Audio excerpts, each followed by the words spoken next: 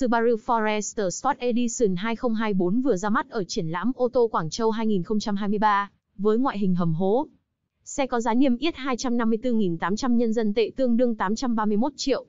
Sport Edition sở hữu ngoại hình hầm hố, và đậm chất thể thao hơn so với các phiên bản khác.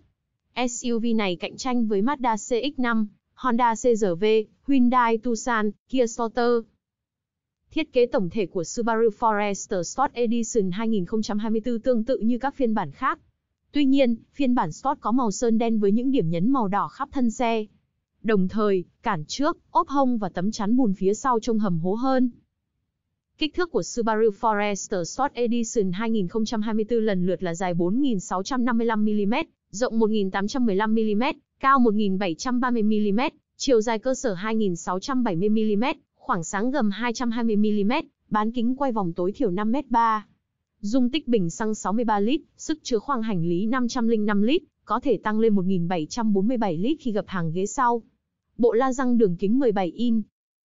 Bên trong cabin, Subaru Forester phiên bản Sport được trang bị màn hình điều khiển trung tâm 8 inch, có thể hiển thị bản đồ trực tuyến và tình hình giao thông theo thời gian thực qua Wi-Fi.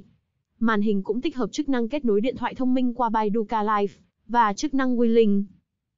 Cung cấp sức mạnh cho Subaru Forester Sport Edition 2024 là động cơ boxer 4 xi lanh dung tích 2.5 lít. Động cơ này sản sinh công suất tối đa 169 mã lực, mô men xoắn cực đại 252 Nm. Hốp ố tự động vô cấp CVT kết hợp cùng hệ dẫn động 4 bánh toàn thời gian AVKD. Mức tiêu hao nhiên liệu ở đường hỗn hợp là 7 lít rưỡi 100 cho km.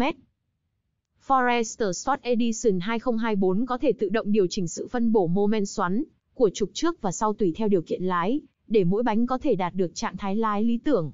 Góc tiếp cận 21 độ, góc khởi hành 25 độ và góc vượt dọc 21 độ.